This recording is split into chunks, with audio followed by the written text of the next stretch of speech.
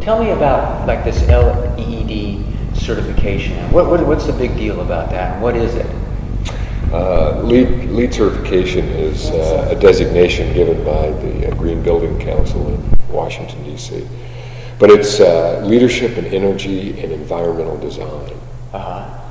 And uh, it's basically encouragement to, to build um, with uh, the energy and the environment in mind uh, as the construction is planned and as it's constructed and, and then how it operates after it's um, in production.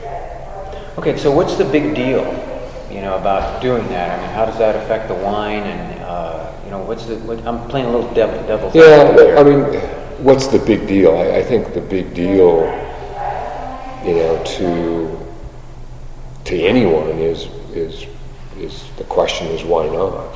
Um, because energy is uh, you only have so much energy that you can generate, um, and when you can build a building that uh, doesn't use as much energy and is insulated well enough, uh, and in our case, that you can produce energy. Uh-huh. um, it not only, you know, we become a manufacturer of energy, um, and if we can, you know, use less that is generated through hydro, through coal, um, and in the future nuclear, um, the more that, the less you'll have to build of those.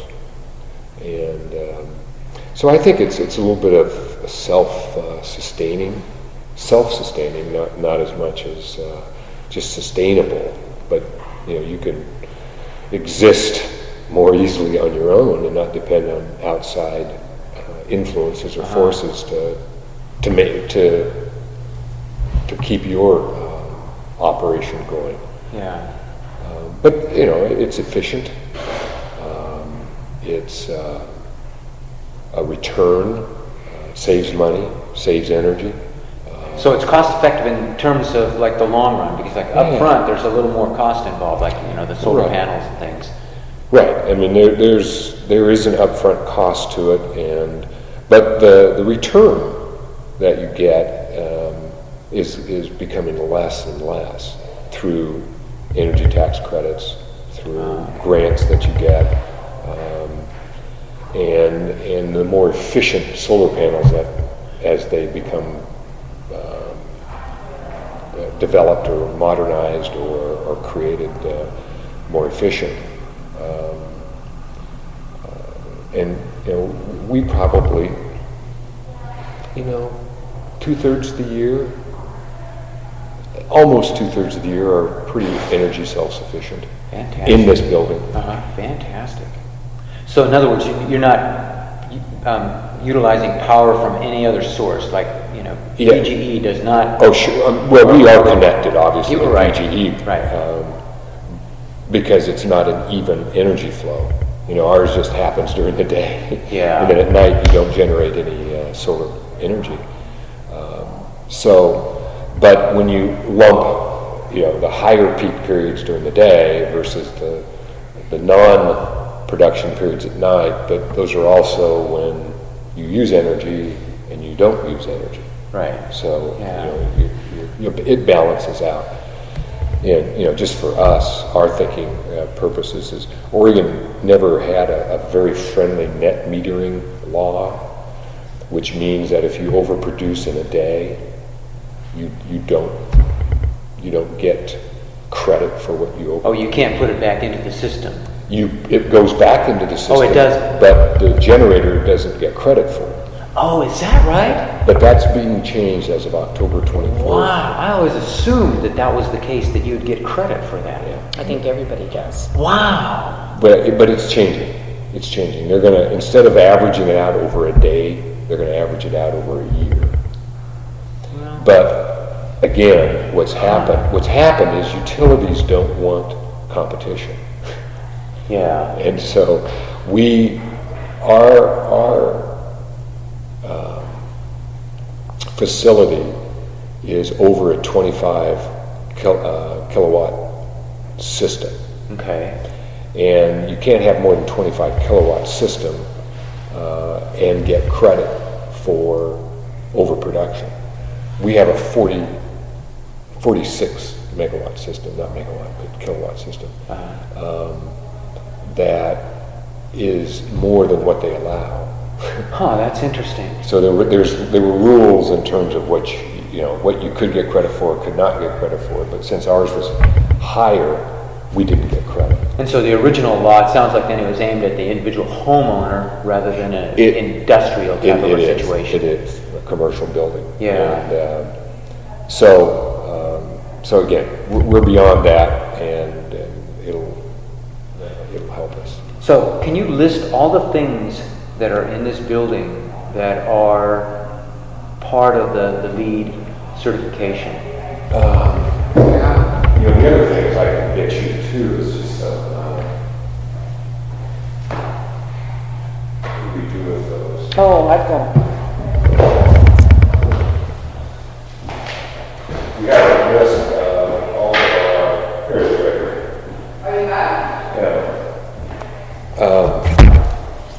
what, what do we have on here? Well, th- this is, this is for demonstration purposes, and we need to get a, a better way of, uh, doing this, and, and I, I'm thinking we're just gonna have to get a kiosk of some kind that, that will put this on it.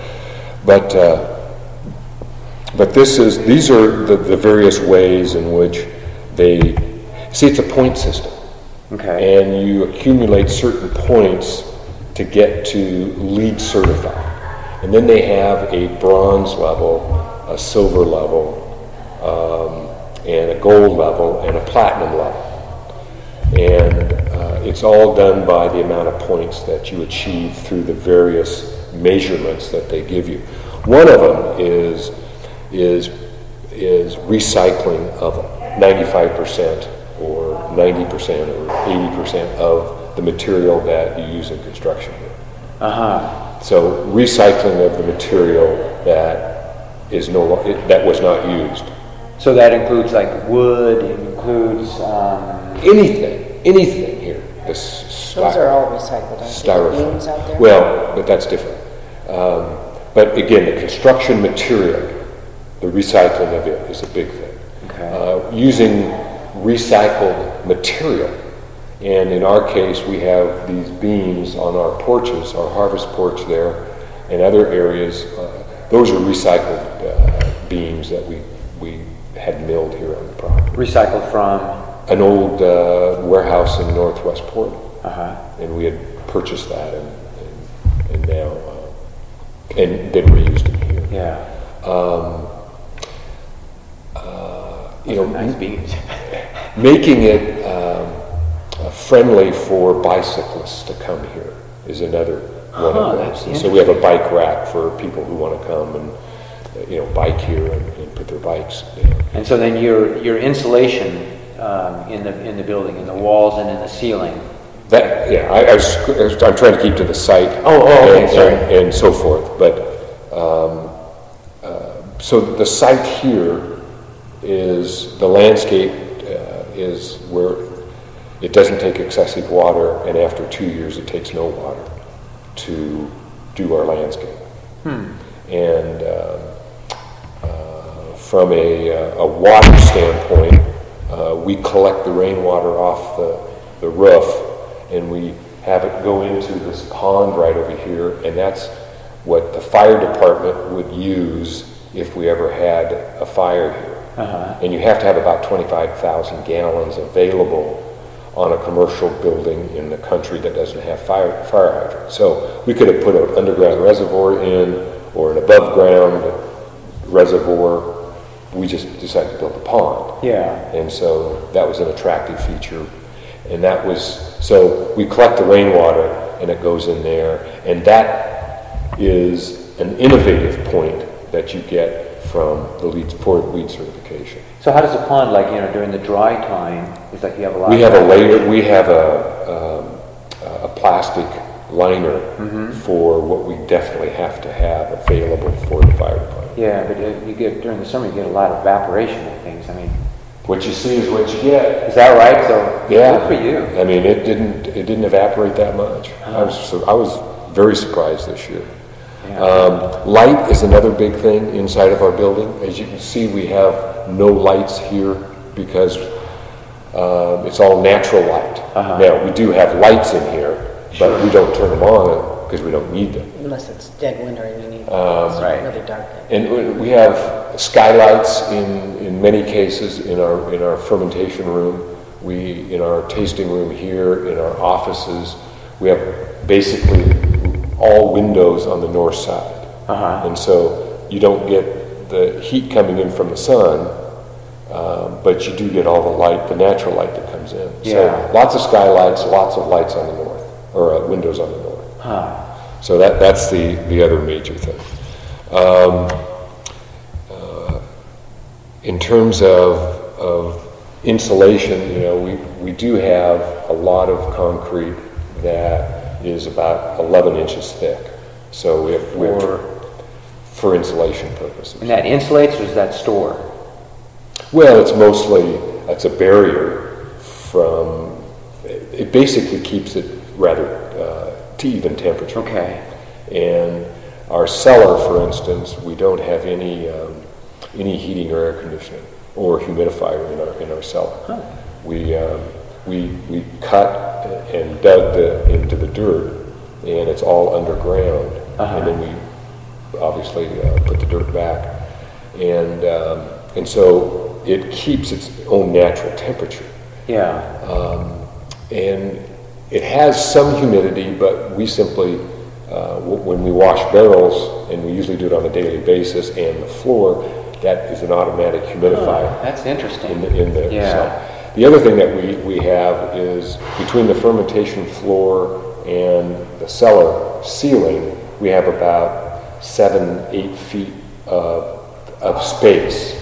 And what we decided to do is to build a tunnel system that would make it easier to get our uh, electrical and our plumbing in.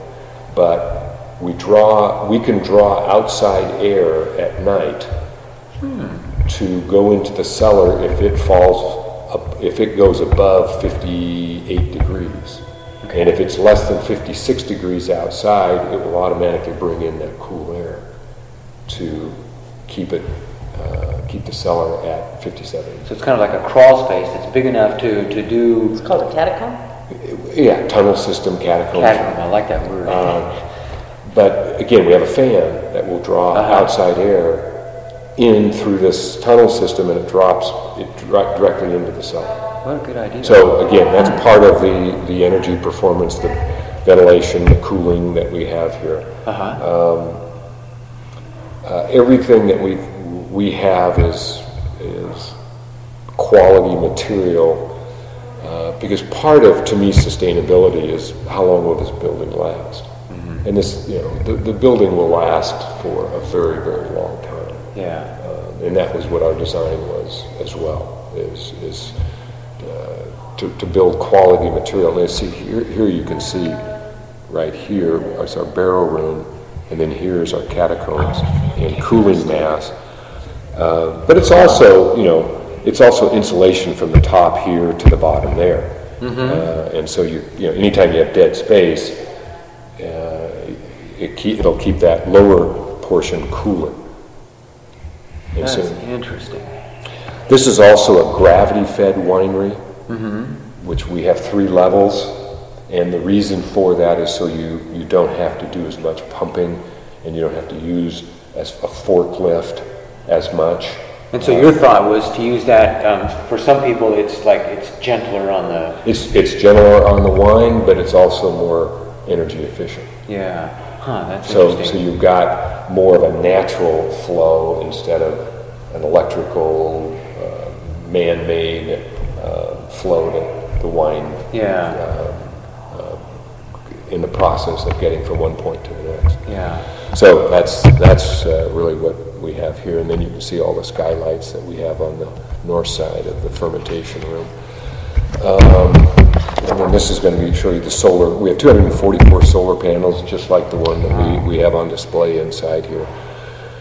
Um, And uh, they generate, you know, on a, on a good day, around 300 kilowatt per hour.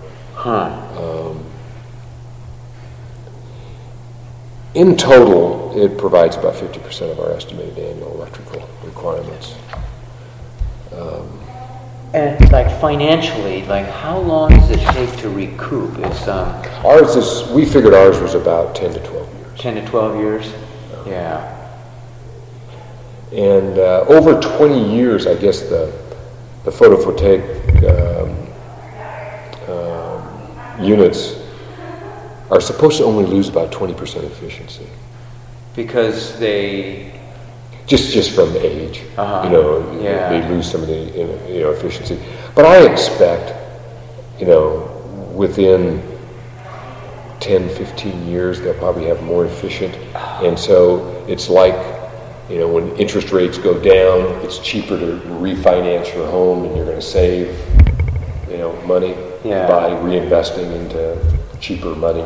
And I think that's the same thing that's going to happen. here. Yeah. It's going to be cheaper to, to replace them in X amount of years. So production will go down 20% in a period of time, but I think efficiency will go up 50%. So we'll have a 70% difference and, and you'll get your money back in three years or Yeah. five years or whatever the time. I'm amazed at how long, it's like I do a lot of work in Africa, in really remote areas, and I, so I use a lot of solar panels to charge, you know, my cameras and all that Mhm. kind of stuff. And this latest, um, I just went in March and February, it's phenomenal how fast and efficient these, my solar panels are, little panels are about that big. I was just flabbergasted at how well those things Yes, yes. charge. Oh my gosh. We, we actually put a, um, uh, solar radiation unit uh, up at our house for our swimming pool Uh-huh, this year. uh-huh. So that's sort of a Up, similar. up, up on your roof then? or- No, no, it's in the, it's in the back. Uh-huh. It's on the, you know, it's, it's on posts. And So it's on, on, you know, just, You can't really see it from the house. You can't see it from the house at all. Oh, fantastic. So, Yeah. and then this one is energy performance um, from a building standpoint, and and these, you know, this if you read the the material, it, it, it goes into a lot of some of what I've already said, but um, and I can actually forward that to you if you wanted to. If you wouldn't mind, I'd really appreciate that. I can forward all these to you. Yeah, oh, that'd be great. Yeah. So, when you, Low flow plumbing fixtures.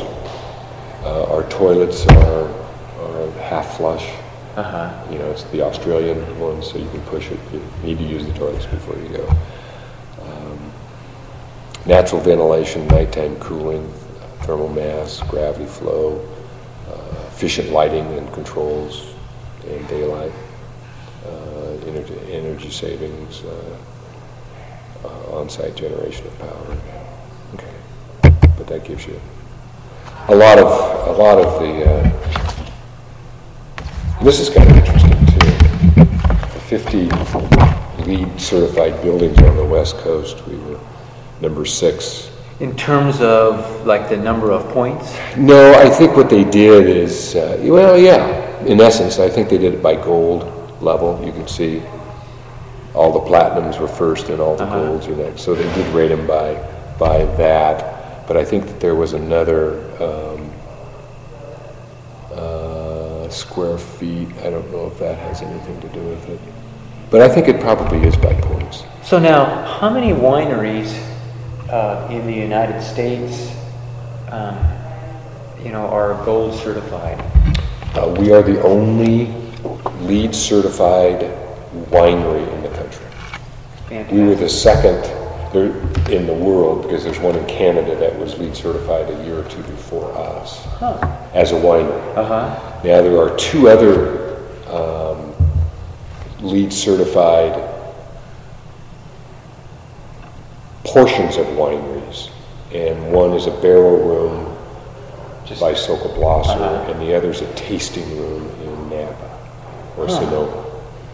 Uh, so those are the other, only other LEED at this point that I'm aware of. Yeah. Um, So what was the motivation? I mean, you woke up one morning and just said, well, I want to be, you know, energy efficient, or what, what, you know, what brought you to this point?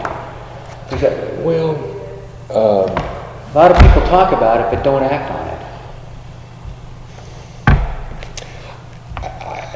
my whole life, I have been uh, intrigued with efficiency, with solar, uh, with generating your own power.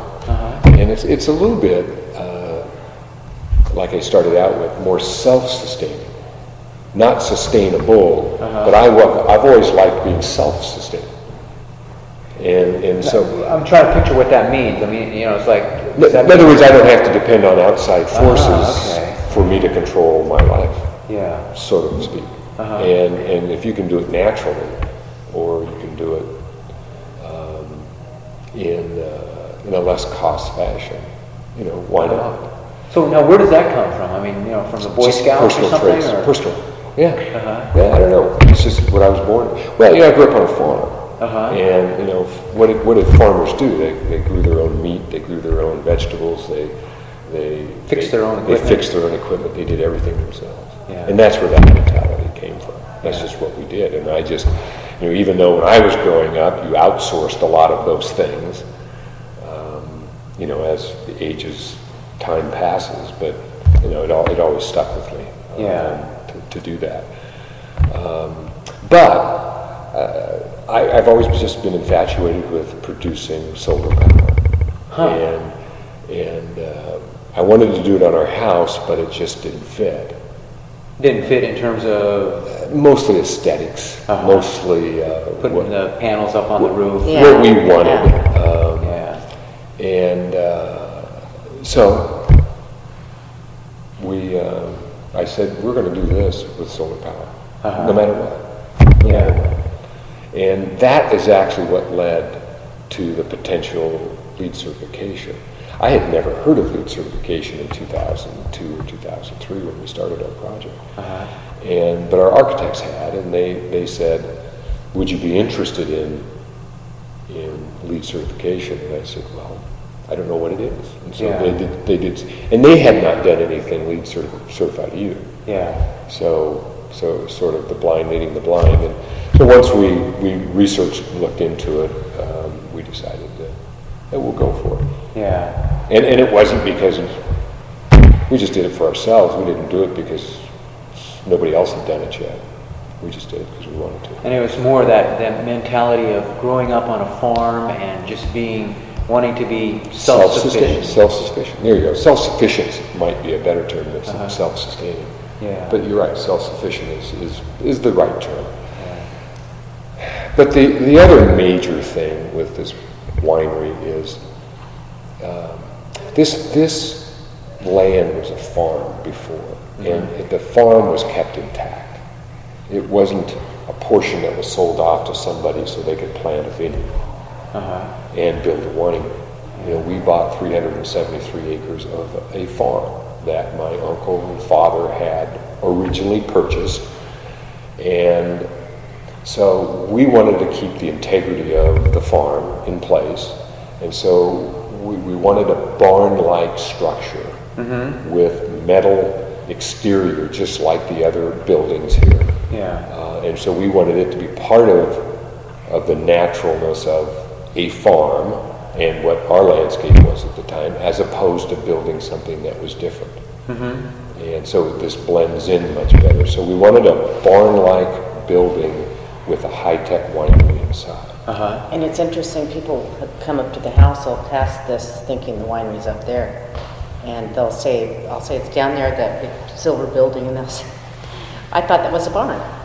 Oh, so it So worked. it the worked. aesthetics work very, Yeah. very well. And that's interesting that they think that your house is the winery. Because of the- of preconceptions or, or something. yeah. Yeah. That's very interesting, isn't it? So, Good. Ca- Cathy, how does this all this fit into you? I mean, like you come from L.A.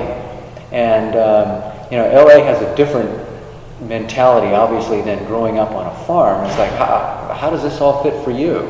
Uh, actually, I think it's a good mix because, you know, you learn survival skills in a big town like that. That's a different kind of survival skill, though. Yeah, uh, than- and, than uh, and then when you get, get it kind of mixed in the farming, um, I think it, it's a good mix. Uh-huh. Uh, Not that everybody would do it, but Yeah. uh, I, I feel comfortable with it. I had to adjust to the farm life. I bet you did. but it's, um, uh, it's good. It's just that the distance from here to Portland To to a Portland. big town, yeah. Especially through Dundee. Yeah, yeah. That's exactly right. Yeah. So, other than that, um, yeah, I feel very comfortable. Uh-huh, yeah, yeah. Thank you. So I'm kind of curious too, is like, you know, how you decided to do vineyards and, and then finally a winery. I mean, that's, uh, Well, from your background. well, you know, I lived here before this was wine country. And, uh, you know, got interested in wine after, you know, I moved away. Um, And what was it that perked your interest about wine? I mean, just, just the drinking it or? Well, studying it basically, Uh-huh. and you know, tasting classes and so forth, and figuring out what what it was all about, and Yeah. what the flavors were, and the, and the aromas and, and whatnot. Um, but uh, you know, when there- there's there were two things. We were interested in having vineyard land prior to this family property coming up for sale. Uh-huh. And, you know, having grown up on a farm, you know, I always felt it would be nice to, to have more property, Uh-huh. you know, in the country. Um, and so when the two occurred, uh, this land came available and, and we could buy it, and combined uh, my, my background and my interests, my personal interests. I'm still, I'm still kind of curious, like, where that, the idea of the vineyard comes from. I mean, you could have planted, you Well- uh, well, I- hazelnuts or, The, the idea was to, for us, was to buy 50 acres and have 25 in, in vineyards. Yeah, but kind of a weekend home. kind of a weekend home, but you know, it's like still like what was it, you know, like attracting about uh, Well- like vineyards? I mean, it's like the romance, or uh, you know, um, you went through Napa and said, "Oh, I like this," or Actually, we used to go to Napa quite a bit. "Oh, is that right?" We did this, yeah. Well, what I've always said is that this, the soil, the topography of the farm, uh, the location was meant to be a vineyard. Uh huh. period. And, and I think being u- utilized any other way, you know, was not using it to its best use. Yeah. And because it's, it's got the right soil, it's got the right slope, it's got the right exposure, um, and it's situated in the right elevations, uh, the right climate, and, and, you know, for what it was going to, to give, vineyards was, was the natural byproduct. Yeah. And wasn't it the oldest wine guys that uh, would always say this, you know, gosh, I wish you guys would build, put grapes in there, put wines in there instead Uh-huh. of having turkeys up there? Who used to say that? It was like Ponzi or Eat Well, I think Cal Knudsen was the one that really first, Uh-huh. and then Dick Erath certainly did. But everybody knew that this was a, a wine, this was a vine- vineyard property. Yeah. And uh, but you know, if I wanted to get into some segment of the agricultural industry, you know, you just you can easily deduct what are the the what are the right things to put on here, what are the wrong things to put on here, and then you place those on a on a list. And you know, certainly the cost to build a vineyard is as much as it is as much as you can put into any land. But then you do it once in 40 years or 50 years, and so it it's a little bit like putting on solar panels. You know, over time it pays for itself, and over time this will pay for itself. As if you made the right judgment in terms of like varietal, rootstock, you Sure. know, all those kinds Yeah. of things. Which we, everything is planted on phylloxera resistant. Yeah. You, know, you know, some people are still planting on on Yes. their own roots, Yes, especially especially on the on the valley floors. Um, you know, I don't know. Yeah. They'll get it. It'll happen. Yeah. But it was interesting how it came from a little weekend home to actually living out here. Oh, is that right? Yeah, and then um, we also had uh, We, we we redid that little house down there when we first moved here. Uh, this one, the, the, The the closest one right yeah. here. Uh-huh. And we used that for the weekend home. Come Uh-huh. out here and just, the boys would run and play and, and we'd kind of dream. Um, Uh-huh. But it kind of mushroomed into, then building the house. And we were mainly going to sell the grapes to other wineries. Uh-huh. And just be, what's it called, vineyard farming? No, just farming. And then it led into, well, let's build a winery. Uh-huh. So it's kind of took steps. Sure. And so what was the, you know, when, when did the light bulb go off for the winery? Well, um, you know, I think, you know, your own pride sort of gets in the way and, and uh, Gets in the way of, of just selling your grapes. oh, oh because like other people are make- taking your, your people make- efforts and making good wine and you think, well, why can't I make good Yeah, wine? so why can't you do it? Exactly. And Yeah. So, so that probably was the thing. And, and you know, uh, I, I think in the end, uh, from an economical standpoint, you know, when you further process something, you're able to take advantage of that vertical market, and, and that's sort of what we wanted to, to do. Um, and then, you know, you go from growing it to, to processing it and making it and then selling it. Uh-huh. And the more we can sell from here, the better off you are. Um, and, and so that's, that's the goal of everybody. Yeah. But, you know, you, you build, you produce enough and it, it uh, you know, you, you make a, a name and a brand for yourself. And that's fun too. And it's also part of the business challenge. I would have to add to that is the business challenge of taking, taking something from nothing and Uh-huh. creating, creating uh, a brand. Yeah, yeah. So, could you have done this, like th- this building, in Napa, or or would you have done it in Napa, or let's say in Fresno, uh, or Lodi, or uh, La Rioja, you know, uh, some other location?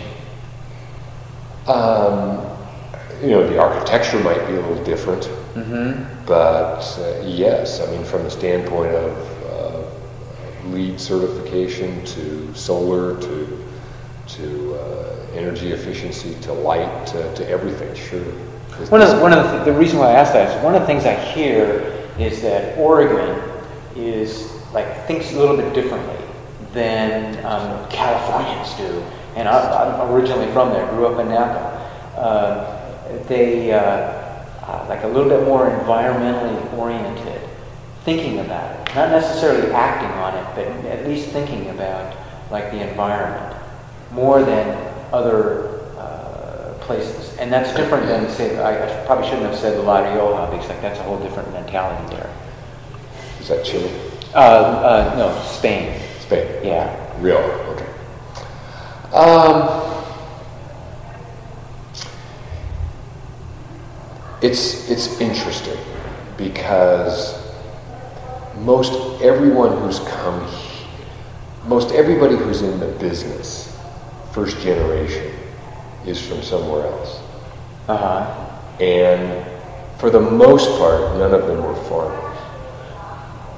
Very, very true. And I think that most of the Oregonians, or most of the wine people in Oregon, probably have a little more of a uh, philosophical bent toward in, the environment.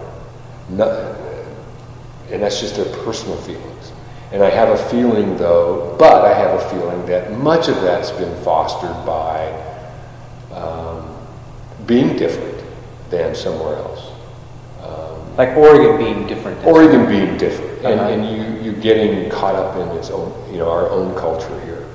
And, uh, and so, you know, you can either join it or you don't join it, but most people have joined it, so it's easier to be conforming than, because I think most of these people were nonconformists Uh-huh. who came, who came and did this, um, who really have a conforming personality. Oh, that's interesting. Because most of them were nonconformists and didn't want to do what they did, and Uh-huh. they wanted to do something totally different.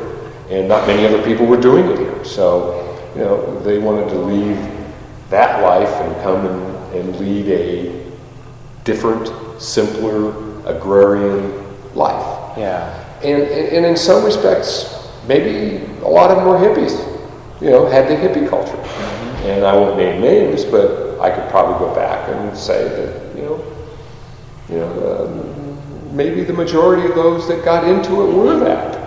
Uh-huh. Uh, were caught up in the 60s and the 50s and, and that change of, of, attitude, perhaps, in America. Um, and so I think, I think by all of, most of us, if not all of us, getting behind sustainability, uh, uh, you know, is really a conforming uh, attitude. Conforming to the Oregon attitude. C- conforming to uh, a different attitude. A different attitude. Yeah, I think Oregon likes to be different. Uh-huh. Oregon likes to be something counter to what others are. I mean, I think, you know, what do they call it, the contrarian uh-huh. viewpoint. I think Oregon, Oregonians are fairly contrarian. It's um, like they used to say, you can come visit, but you can't stay. Yeah. Uh-huh. Um, so with that, I, I, think it's, you know, it, it's a little bit of like anything, but you call it momentum. You know, I think there's just momentum that is surrounding what uh, Oregon and its attitude is and, and, what it stands for. But, you know, it's not just the people here, it's the people, you know, in, in the metropolitan areas. You know, Oregon's always been, uh, Eugene has always been that little different place in Oregon. Portland is relative, it's different, but, but Portland is building a, a lot of green buildings.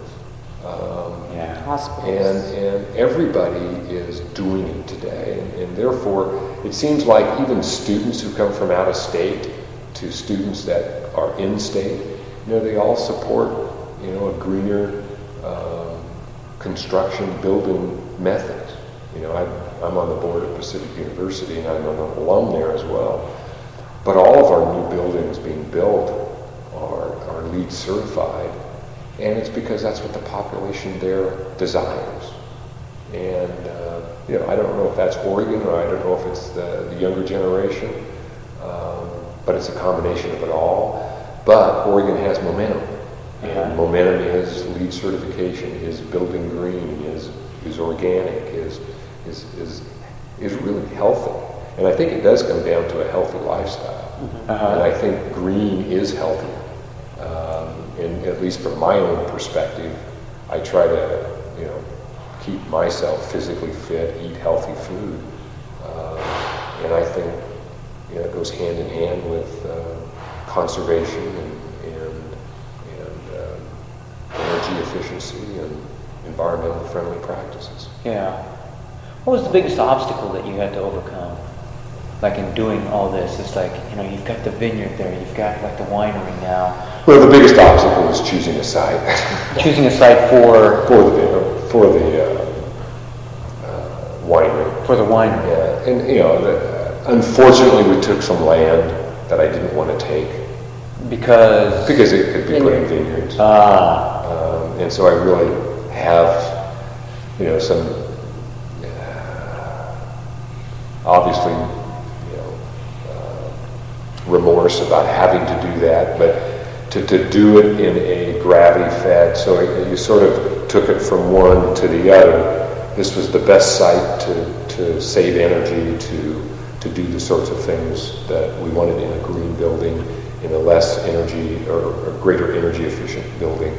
Um, so, uh, so it's, it's you sacrifice something to gain something else. So, so that was the biggest obstacle. You know, the, the second obstacle is financing. I mean, mm-hmm. money. I mean, you have to have the money to do this, um, and it costs a lot more than than you just you desire to to cost. Mm-hmm. Um, but again, in the end, when you look over time, you know, uh, 50 years from now, this will be a very cheap building because it will still be very functional and very few things will have to have been replaced. Mm-hmm. Yeah, and even if I was just thinking, like, we just replaced all of our windows, and I was just thinking, even if you replace the windows, the orientation is correct. You know, it's, it's well thought out. Yeah. Yeah, exactly. So, so we invested up front, and so that was, is always an obstacle. It is with solar. You know, it's always an obstacle to, to have to invest more up front Yeah. to save down the line. And that, but I truly, truly believe 25 years from now, this will be the most cost-effective building that you could have ever built. Yeah, yeah.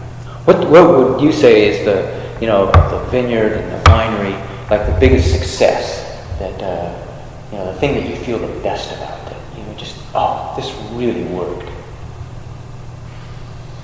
About uh, the, the building, The, yeah, let's focus on the building. All the way from the thought process, you know, it's like when you first said, oh, this needs to be a, you know, a self, we'll use that word sufficient, uh, or as self-sufficient as possible. Well, I, I think that um, uh, from a building this size and from the capacity of what we'll be able to produce here, I think it will be, we can do it with uh, less labor. It, it'll take fewer people to, to, to produce uh, because of our layout, because of the gravity flow, Uh-huh. uh, because of, of architecturally put together. I, I, I just think that it's, it's efficient from a, a manpower usage Uh-huh. standpoint. And uh, so I think, you know, that's, that's just, that's me. Um, but, you know, quite frankly, I think it's, it's the materials that we used. I mean, I'm really pleased that we used the corrugated metal. Uh. I'm just, I, I just think, I just think this fits the property. I Uh-huh. mean, that's probably the number one thing is, this building truly does fit. It's not on the hill, it's not on the property, it's of the property, as Frank Lloyd Wright would have said. Um, it just blends in, it fits, and, and that's the real, that's the real pleasure, I think. That, Uh-huh. that I could never, we could never have built a better um, barn, uh, like building. That uh, we could have built something else that wouldn't have been the same. Yeah. yeah. So we didn't build a, a shrine, and we didn't build a, something that sore thumb Uh-huh. whatever. Yeah. Frank Gehry is, is going to, his firm has built, or has designed a winery in, in uh, Napa now. I don't know if you saw that. But, you know, I mean, that's show. And That- we- we- Napa is Disneyland now. And we didn't want to build a show. You Yeah. know, We wanted to build something that the wines could be made. You know, maybe that, that's the other thing is, is we think that this building and this construction, the site, what, what we did inside the high tech is, is making better wine. And that's the ultimate, is the quality of wine that this building. And so you're saying that it actually, you know, like, We think it's increasing, Contributes. it's increasing the quality of what we can produce is how we built this building. hmm. I have to ask this, like, how, how does that work? It's like, I'm, I'm not Well, when I said high tech, Uh-huh. I said, what you mean by high tech is our fermentation tanks have a double uh, uh, controlled um, heating and cooling system on each ferment. Uh-huh. So we can, we can put a lower temperature or a higher temperature on the ha- bottom half of the Oh, so it's not just one, no, uh, it's not. It- So we can control how the, the wine is fermenting much more so. Um, I think the, the, uh, the gravity flow helps uh, treat the wine more gently. Uh, even though pumps are very acceptable to use because they're very gentle, um, I think then uh, taking the gravity and putting the, the, the wine into the uh, barrels is is um, is a, a real quality plus as well. Uh, having even temperatures in the cellar, natural even temperatures, I think that helps. yeah. Um, But, you know, that's just what the building will provide you. The winemaker still has to make sure that they, you know, select the right yeast and they, they, have- they run at the right temperatures and they, they don't let too much air or too little air get into the wine. Um, But we have, we have most of that under our control. Mm-hmm. And so that's, so, so I think it, I truly believe it increases the quality.